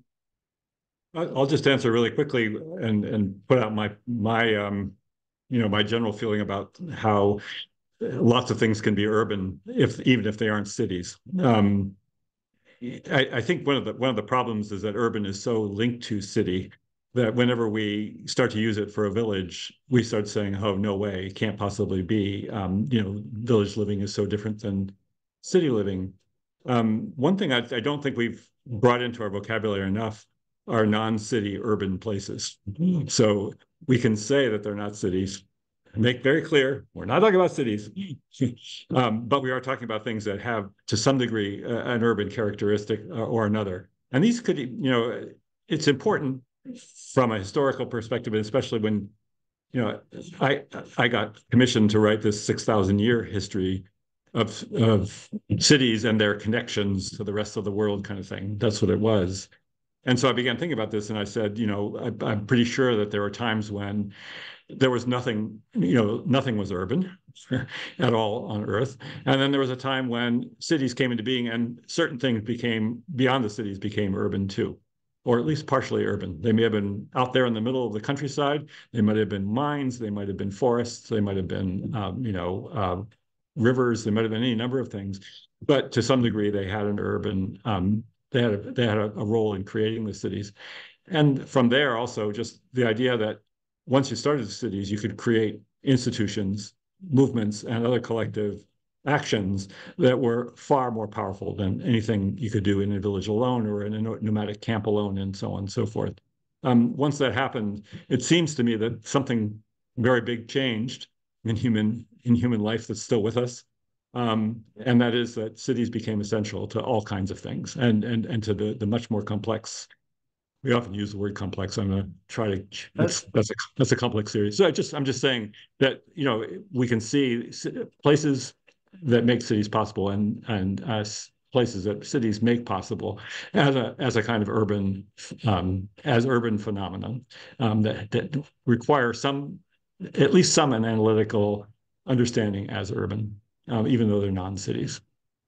Yeah, I, I, see that, Carl, but don't you then take a very essential process out of the equation, namely the, the living itself, the, the, the settlement structure in itself, the the way no, no, I don't think you do. Yeah, I think you I think you you very clearly distinguish cities from villages and every other kind of settlement. Um, and you say the life is very different in all of them. And you to some degree impute the quality of life or the, the nature of life in those places um, you see it as as something that that uh, also helps to allow cities to become as important as they do institutionally and in terms of movements and in terms of collective acts. I think this is the ideal moment actually to to go to the second part um, because indeed it's it's um, how to then to then um, study these places and qualify these these spaces. And what Ilya said um, um, how to so that there's so you have the theories and the ideas looking at city spheres of influence networks you know up to the you know planetary scale. But then how do we kind of um, study the place uh, in itself and and appreciate all the differentiation um, and different qualities so um, i will give wangui the floor to introduce a second Thank you so much. Thank you all. I've really learned a lot in this preceding discussion and um, my role is to try and help us engage in this forum with the question that I've just put in the chat. So what places and processes should we research and how to give these concepts empirical traction? And in doing in thinking about this in a in a collective manner, what I wanted to do was talk about how I arrived uh, at a at a really I arrived like I came to use urban political ecology, which was a very very indirect uh, route. In my work in in Nairobi, I I look at how coloniality endures in the city, basically, but I found that a big gap in the literature was uh, looking at how uh, ecology was part of the imperial enterprise. So not just in terms of ecocide, as we're seeing in Gaza, but in terms of uh, dividing who could live where. Europeans only wanted to live in a specific section because uh, they didn't want to be in a floodplain where there were mosquitoes or or they also wanted to be at a high place so that they could have a vantage point for surveillance. So ecology was a big part of, of the imperial enterprise. Tied to that, how ecology was maintained also helped bolster the notions of, of the imperial power, how lawns were kept, what lawns looked like, what trees you needed to grow, whether you need, need you were you were to have jacarandas in avenues and not say native plants. So really ecology was a big part of the imperial enterprise in many ways. And so really while doing my PhD research, I saw this that unfortunately ecology was not being foregrounded in these discussions about how uh, the colonial city was produced, but also how it was maintained. And so for me, this is how I came to urban political ecology because it's really the empirical work and how people were narrating their space and their their their lives, really narrating their lives in in context of environmental apartheid in the past and present, that led me to urban political ecology. One thing I would say though, and I I write about this in uh, turning up the heat, is nature also is is uh, is also part of people's interiority, how people's subjectivities are seen. So for example, in the chapter I write in Turning Up the Heat, and thank you, Maria. I don't think we've actually met, but thank you for the opportunity to be in that book. People's nature, what was seen as their nature as subjects was then normalized in a nature that was produced. So people's interiorities, if they were seen as uh, bad and uh, over sexualized and and dirty, then that was also was having a symbiotic relationship with their land, with their living in what a Wright calls deficit geographies. So if Africans were given deficit geographies, then in turn and in a symbiotic relationship, their natures were also seen as deficient. And I feel this is maybe uh, a way, that was a way for me to extend what I had seen in the landscape and maybe extend my usage of UPE by also thinking at what was naturalized uh, for as people's subjectivities. And related to that, and speaking about cities, Africans were not meant to be in their cities, in Nairobi at least. They were not seen as, the city was not their nature and their nature was not meant to be in the city. And so there was a big, uh, there was always a big, uh, you, the British government was always writing about how we can't have these detribalized Africans in the city because the city is not their nature and their internal nature, their interiority becomes corrupted by uh, the city space.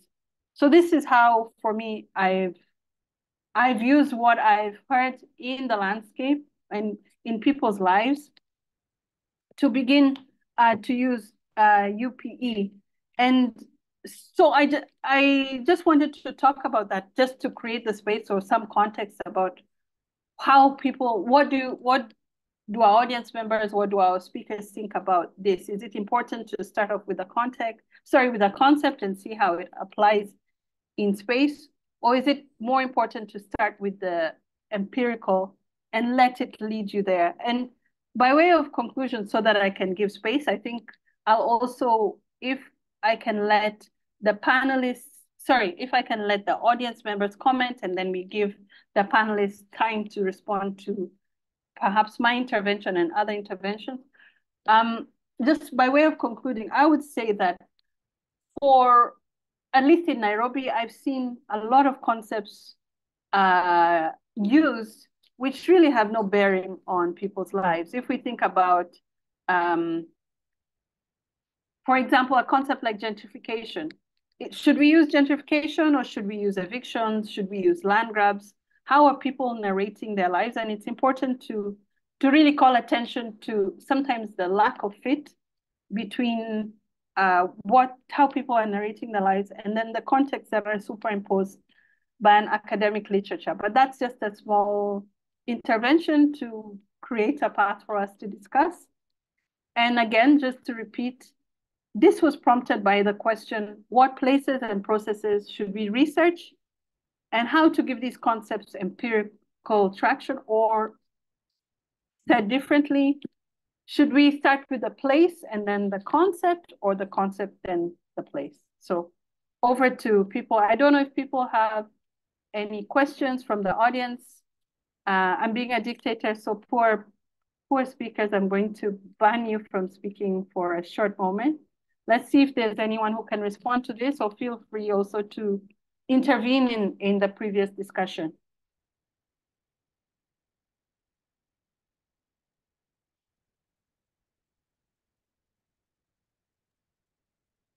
Okay. Um, so I'm not, I'm not sure if, if, was I one of the people who was banned or, or uh, no, I... no, no. the, the dictator unbans you. Go ahead, Matthew. Okay. Uh, thanks. Um, so I guess with the whole issue, the, the empirical versus the concept, um, obviously it, it's certainly going to depend on the person. It's, it's kind of subjective thing. But I guess I'd say as far as one's research, you know, you uh, all of us, we spend we spend so much time actually doing our research that I think kind of on an empirical level, on just on a basic kind of factual subject topic level, it needs to be something that really kind of that one finds really sort of viscerally fascinating, that one that can maintain one's interest for you know three or five or ten years. Um, and you know sometimes just just a concept isn't isn't necessarily enough. It needs to be something that you know an actual place or people and so forth that one events that one really finds fascinating, regardless of and the concepts may change over time. Uh, of course, for some people, maybe just the abstract concept for some people might be fascinating enough, and then it all can follow from that. I guess the other thing I'd say is just, I think, um, you know, in some sense, maybe the empirical facts always have to be a little bit preeminent because the because you know if you're a good scholar you know your interpretations may change as you uncover more facts and as you discover more relationships and and subtleties that you, you weren't aware of in the beginning so i think you have to one has to be you know hypothesizing from the beginning with ideas and stuff but one also needs to be flexible enough and, and avoid you know not not be too dogmatic so that when as one does more research and uncovers more facts and information you know you you discover that one one hypothesis doesn't work but then you learn about some other concept um, that might be perfect. Um, and it's just important to be, to be kind of flexible enough to be open to that.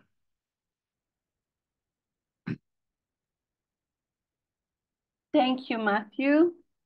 Um, anyone else? Go ahead, Alexia. Yes, please. And yeah. for I'm, I have to scroll through many. Yes, of course. Uh, Sorry, I figured I figured that uh, you'd see me because my screen's on. But um, uh, not not anything very important to say, but I just wanted to reinforce what you said, Wangui, because I think it it you know obviously it gets a, a little bit at and, and my I'm unhelpful because I always scale up to like the biggest epistemological problem of like the social sciences, but um but that is the tension, uh, the productive tension of trying to think historically and then also in terms of sort of, you know, applied social science, right? So we are trying to figure out what we do, as Carl said, you know, with our box of stuff. Um, and so we grab for some concepts to make sense of it. Um, but that, you know, is what we do in time is exactly the scenario that you are mapping for happening sort of in the present moment, right? Which is like we take an alien concept and we impose it on people that it didn't make any sense for, right? Um, and that is, um, you know, those people aren't there to push back at us, um, which I am personally quite grateful for. Um, but that is uh, that that's exactly uh, what we do, and it's a you know it's a privilege, and then we have to we have to balance it with the violence that that does. But I think what it gets us to is the fact that, and you know, the theme of this series, which is about narrating. Um, again, each of these narrating urban and lives, also important. Um, but it's about how it changes the story we're able to tell. Um, and so maybe if I could connect it to a little bit of the conversation earlier, Um, I was interested if there actually is a tension in two of the things that one of the things that Carl said, and then the, how Maria was talking about extended urbanization. Because um, I was thinking about, you know, the degree to which discussing um, and Matthew put it this way as where like that everything is to some degree urban. Carl mentioned in passing that that I suppose I don't know, Carl, you've probably worked this out, right? But a graduated model of degrees of urbanness. Um, but then in listening to the discussion of extended urbanization as Maria introduced it at the beginning, I sort of thought, I mean, do we need that, right? Or is it actually just we just make the claim and then it changes the story we can tell? And does it matter if we have a sort of a, a, a, firm categorization of degrees of urbanization and ways of, or degrees of urbanness um, or cityness and ways of recognizing it. And I suspect it probably matters if you want to, I don't know, convince a politician and rebuild a city or convince a community to advocate for a certain kind of change. Um, but I'm not, I don't know that it matters so much um, in terms of our, our political argument, right? I mean, and, and actually this chimes very well with Matthew's discussion of, of the notion that these things are they're they're projects, they're imaginaries, they're claims that we're making so that it can enable us to do certain kinds of work. Um, and, and so it just I don't know, is there a tension there or or isn't there? Can I be unbanned, Wangui? um, of course, sorry. Uh, please go ahead. yeah, I was, I, am bursting um, with with with thoughts, and they're all over the place. Um, but uh, you know, I think I think I'm I'm long from going from theory to an actual um, practice now. This has been I've been up in the stratosphere for some time, and I I, I really do, but I really do think that there is um, research practice praxis um, implications in in thinking about uh, these degrees of urban that is that are useful in in, in, a, in a bunch of different possible ways. Also, though, um, that really isn't good enough to just say that they're all urban. There are, you know, that this this uh, this urban has to be. Um, uh, it has to come in it has to come in pieces and it has to be classified with not just by degree but by you know, by various different kinds of substances. So I have this urban forelands versus hinterlands as one degree, the cities versus non-cities urban um, as one possible way to go. Um, but the, you know, there's every particular energy form. Maria mentioned water. Um, you know, there's, uh, Matthew mentioned oil. Each of those has a history that's um, that's urban in, in its own interesting way um, and extended urban in this interesting way. And you could put on, you know, wood and we've already talked about almost all of, all of the different kinds of energy food, obviously being a huge, huge, huge one. Um, and then the other thing that I did when I was, so part of this was about trying to write a big, long narrative, a possible narrative of what 6,000 years looks like. You know, what, what, what does 6,000 years of history look like? Um, and so, you know, for the first 5,500 years, I saw, I think rivers and freshwater were much, much more important to, to, to, to the whole operation of everything urban.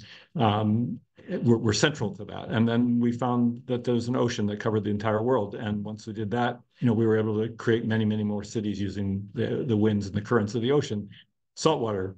Um, and then finally, you know, discovering hydrocarbon and how it can be used to, to propel um, city growth and many other actions um, seems to be really important. So, so that you know, subdividing these things is is as important as giving them uh, kind of degrees of urbanness.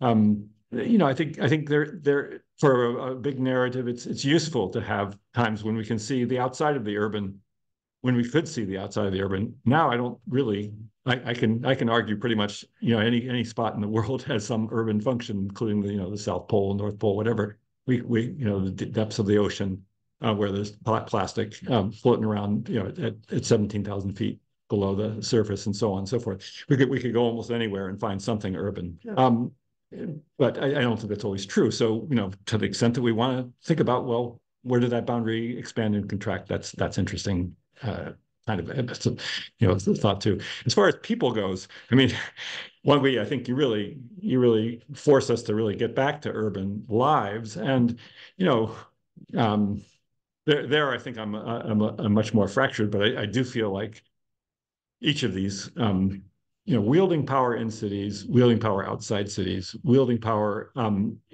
is always um, uh, always involves the whole of the. It, it is always central to empirical what we want to do empirically, it feels to me, and also, you know, what we want to do uh, politically, and also what we want to do in terms of bring narrating lives. And so I'm I'm kind of a political determinist in that way, with the political of urban political economy, um, with you know racial politics, with gender politics, with everyday politics, with infra using that word in the, in the broadest possible way, cultural infra politics. I just think that that's that's the heart of the matter. That's where the the the the life life meets space, where space where um uh, where where um, all these concepts finally matter or don't matter um, empirically and politically. So I'll just stop with that.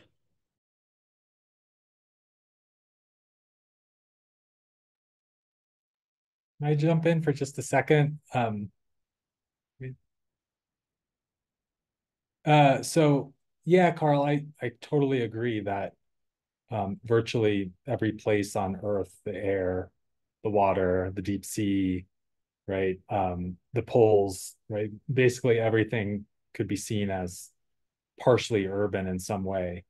Um, I guess my my bigger concern is that we then take that partial urbanization and then base entire research questions and approaches um, using kind of global urban historical or UPE lens. Um, and I'm just not I'm just not entirely convinced by that, um, considering that, for example, if you're looking at um, deep sea mining uh, or what have you, certainly there's an urban component to it, um, but that these topics, um, these kinds of topics and the, and the questions you ask uh, need to be coming from sort of more of this sort of epistemic pluralism, right? Of, you know, there's STS, there's uh, environmental studies, there's post-colonial or decolonial uh, theory, right? That can help us sort of uh, piece together um, histories of of um, or studies of these kinds of um, projects, right? These kind of extractivist projects that that have urban components but aren't entirely enwrapped by them. I would just say that nothing is entirely enwrapped by urban, uh, but everything is, and and so it, that's this is why I, this is why I I I believe in dialectics that are necessary but not sufficient. Um, so all of this stuff is also capitalism. All of this stuff is also empire. All this stuff is also and and capitalism and empire also are urban, you know. So or or in in, in dramatic and drastic ways, and very very importantly so. Um, so that that's mostly what I. I'm not I'm not saying there's only one one thing that matters in the world, and that's you know what what we can do from cities. I, I'm I'm saying that what we do from cities matters a huge amount and um, let's let's make sure it folds into the make sure we fold it into the analysis. That's that's mostly what I have in mind. Well, just, uh... Oh, okay. um, I have to take over the moderation because I think Wangui, Wangui her connection is really bad. So um, I think she she left um, our digital space for now. Um, so I will I will do um, the moderation, and I'm looking at the time. So we're 15 minutes before five. Um, and I think Wangui um, did a very had a very good strategy to turn it around and first have a discussion and um, um then end with the thoughts of our panelists on on place. We we have um, discussed already somewhat where to look um, and how, you know, how to connect places and politics um, and our research to politics. But I, I would love to hear um, Maria's thoughts, if you don't mind, Maria, to um, to give your thoughts on it. Sure, thank you. I'll take five minutes. Um, uh, first, just uh, briefly I'll start with this uh, conceptual versus empirical work. I don't believe in this uh, differentiation at all. Um, it, at least when I go in the field, I can never theorize outside the field. I believe in grounded theory, uh, but I need to go in the field with concepts in my mind. I don't go with empty head although go with an open head, but not an empty head. And the concepts are, and the theories are the lens through which I can see the world. So if I choose to do actor network theory, which I don't, and I don't because I don't believe in flat ontologies and that all actors have equal power. I, I, I strongly don't believe in that.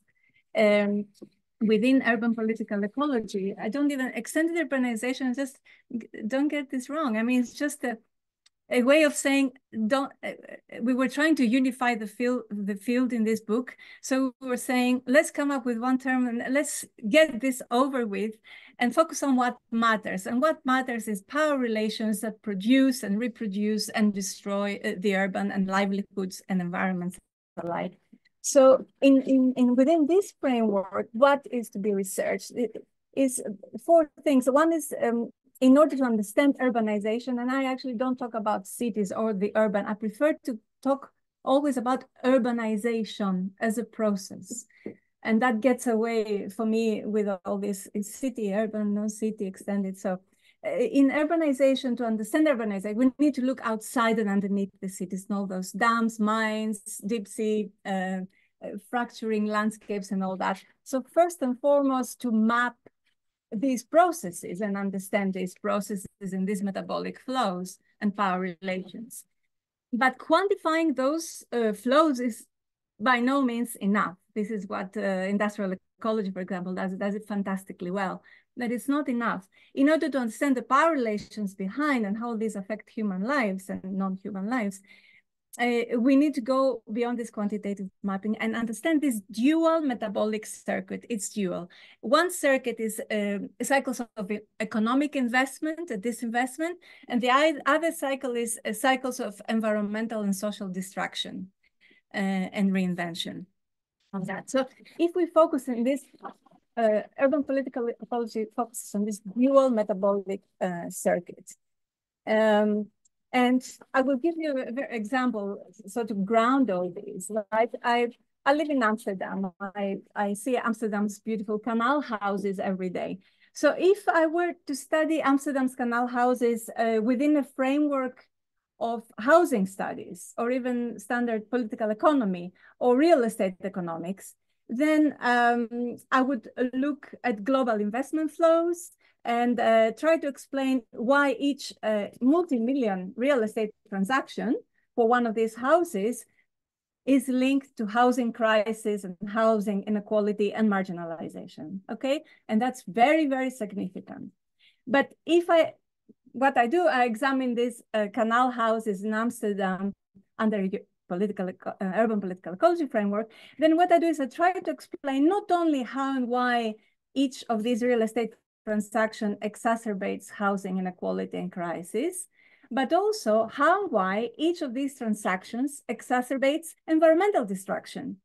And to do this, it is not enough to examine aggregate real estate pricing data or even get qualitative local data uh, to see how global real estate speculation is linked to environmental destruction as well as uh, local inequality, I examine Amsterdam's canal houses as sponges, and this is where the history comes in, sponges that have absorbed century upon century, layer upon layer, the profit that had been extracted from exploited natural resources and bodies of men and women across the world in fields of Suriname, Ghana, India, Angola, Senegal, South Africa, Indonesia. In ports, uh, mines, oil rigs, breweries, cigarette and biscuit factories, windmills, tulip plantations, you name it. All of this exploitation of nature resources and sweat ends up being piles of bricks that create the city of Amsterdam and Amsterdam's canals houses uh, in particular. And this is not only something that happened in the past and stopped there, but each time a new real estate transaction takes place in a city like Amsterdam or any other, fresh amounts of profit extracted contemporarily in uh, from labor and resources around the world, all this fresh profit sinks again into the urban, the places we call cities, and this particular pile of bricks that we call Amsterdam's canal houses. So this is a kind of epistemological, methodological vehicle that I use uh, to in urban political ecology. Um, and this is not just a academic exercise, it matters politically. Uh, and also the talking about places, looking at those places outside the urban matters politically. For example, when uh, Berger depicted the US suburban fringe as no man's land in 2017, this is not simply an academic representation. Uh, accepting US suburban no man's land means ignoring millennia of metabolic flows between humans and non-humans that produce these landscapes. And it means, of course, ignoring generation of power struggles over land between indigenous peoples and settlers. It means neglecting the history, past and contemporary of the power dynamics that produced these landscapes that eventually become urbanized.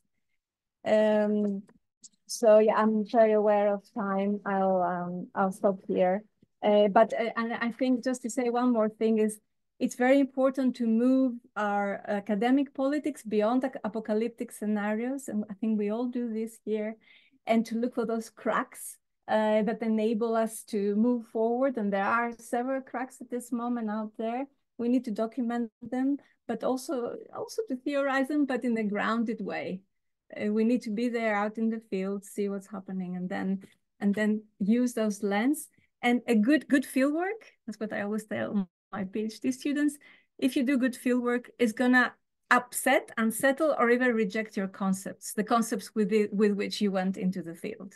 And that's how we move our, our academia forward as well. So, thank you. If I go now, I can give Matt the last word. Matt, would you like to, I would uh, prefer to give you the last word because I kind of, we kind of set this up so that I, I was the third person. Um, I'll just say, Maria, thank you very much for that very evocative um, analysis of of piles of bricks near your near where you live. Um, it it feels to me like it it does a number of different things that historians um, should do and uh, ways of deploying the concept urban um, amongst many many other concepts. Uh, my, I think one of the things that matters the most to me is that is that uh, we think um, very very imaginatively about space and that we the way we um, categorize space and and name spaces um, and delineate them is very you know is is um, is as creative and as interesting as it possibly can be in part because whenever we go to our evidence, which may be bricks that we, you know, we know about in Amsterdam, but most often is a bunch of paper in a box, as we've we've talked about before, or it could be sometimes interviews or oral interviews and so on. Uh, we're we have a, we have a choice of way to answer them. This in this way, I'm going uh, sort of just responding a little bit to Matthew as well, uh, Matthew Hines as well. Um, we have lots of choices of way of, of interpreting them, and a spatial imagination, I think, just helps us to read. We, we talk about read against the grain, read against scale, to think about ways in which something that's happening very clearly in a very small place um, has, you know, has inputs from many, many, many possible places, including, you know, just how you described um, the the bricks that make up the canal houses but that also radiates outward and has effects and consequences. Oh, Wangui's back, thank goodness. Good to see you. Um, and um, so I, I just I, I, think most mostly what I want to do when I'm pressing questions of urban and non-urban is to think um, is to is to interject various different um, conceptions of space in, and and give us as, as wide a palette as possible for understanding them. And I think that's important. Um, I think it's ultimately important politically too because our so much of our political strategy making. And, um, you know, I have my own firsthand um, experiences with that too, involves what space do you target? What space matters? what space is, as Maria so evocatively put it, is the lever. Um, and that's the thing about politics is it, it it operates in space and it operates by means of space. And so being able to identify spaces in all their in all their complexity is yet another way of, of also um, noticing the symbolic potential and the actual um, uh, you know real material potential for those spaces to become um, openings or um, Achilles heel in the bigger power dynamics. And so that's that's that's that's mostly why I want to um, you know what, what I want to see the see each space as as created multi-causally, multi and uh, multiple multiple scales that interact on a um, on a continuous basis. Matthew, go ahead.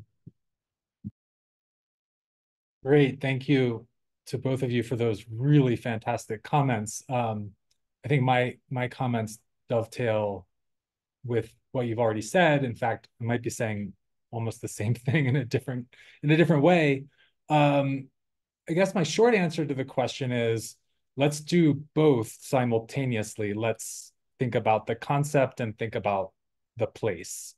Um, and you know, for for me, you know, I I wonder if if if our entry point is demystification right? Uh, kind of thinking thinking along a kind of Marxian lines of commodity fetishism, right? And and Maria actually, in an earlier comment, um, said something that uh, that that um, in, very beautifully um, that I kind of wanted to say here, which is, you know, wherever you are in the world, um, you know, think about where the things that you consume, that you use, uh, think about where they come from, how they were made, how they were brought to you, um, what relationships, social relationships of labor, um, of of environmental processes, of non-human nature that that compose those things that you use.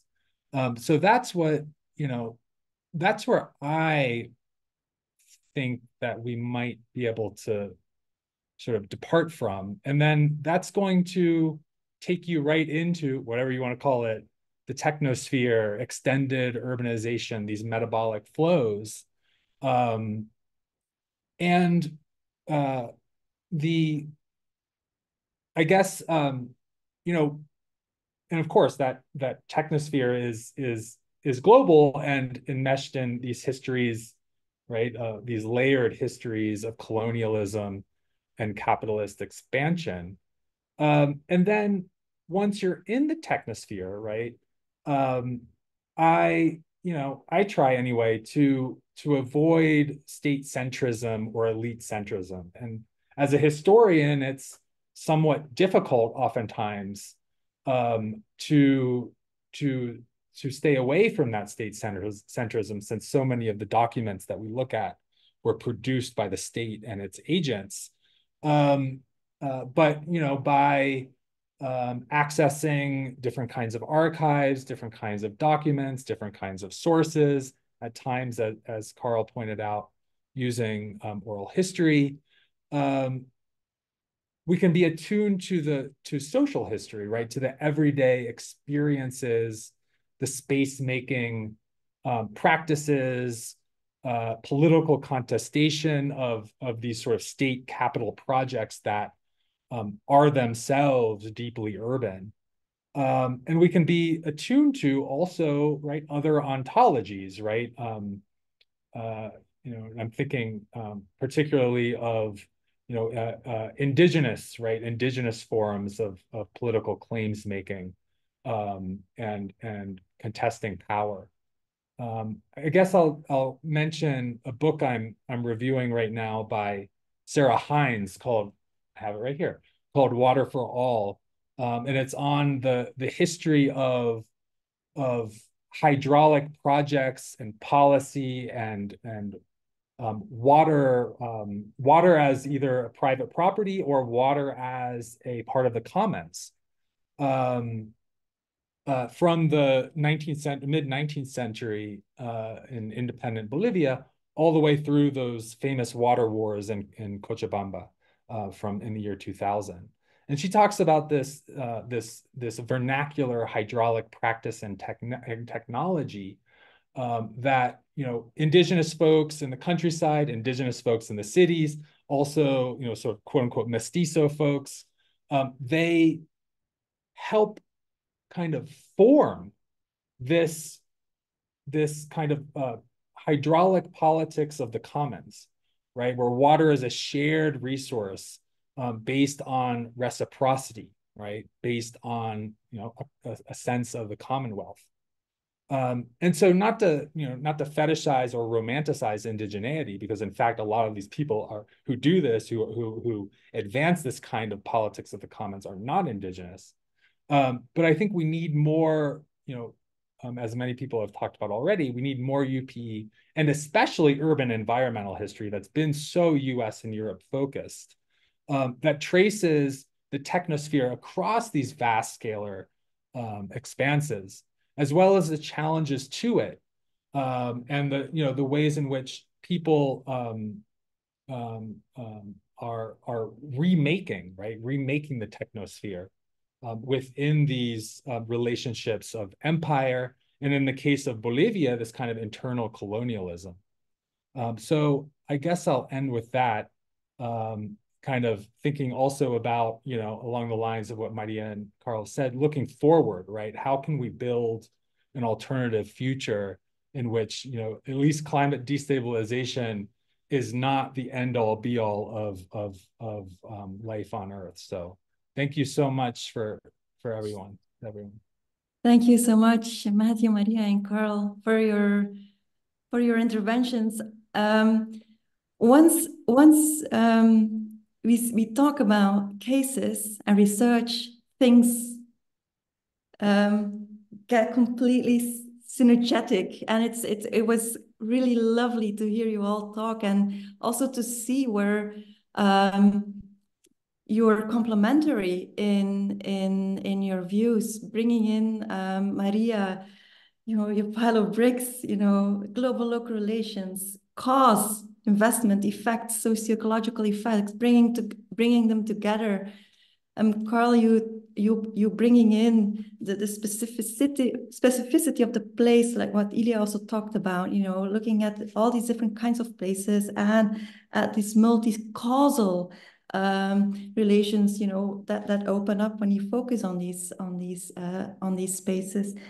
And Matthew, yeah, that's what environmental history is really kind of contributing to, I think uh, it's central, is, is it's labor, it's social relations, it's um, bringing that into uh, the debate, which is, I think, a crucial um, um, perspective. Um, so thank you all. I, I, will give the floor to Wangui. She's back. she found a way to solve the technical problem um, uh, to, to wrap up. So thank you all. Thank you. Uh, just briefly, uh, earlier Matthew had said the third world was kind of a project and I really, I like that project except when it means that my electricity will go out for 10 minutes during a talk. So my apologies. I'm, I feel, uh, really, I feel a bit inadequate to conclude because I missed about 10 minutes of our conversation. But I really am grateful for the generosity you've all brought to the table, the engagement that you've all had, and I hope that this can continue outside of this forum and also in the rest of the events that constitute this series. The next event is Critical Archives, if I'm not mistaken, and it's on March, uh, I'll just open the poster, it's on March 5th. So we're really, we hope that you can uh, join us then. Uh, sorry, it's called Archival Futures uh, and it's on March 5th and you can find information to register on the GUHP website. But thank you so much. I personally have found UPE really helpful in, in helping me think about how nature is mobilized in many ways in, in Nairobi. So I'm really grateful for this discussion and I'm happy to say thank you. Yeah, thank, thank you. you all. I have to say, Wangui offered uh, to the book uh, one of the most original and uh, inspiring chapters. So thank you for that. Thank you. Thank you. Thank you all. Yeah, thank you for joining us. Bye-bye. Bye. Thank you, everyone.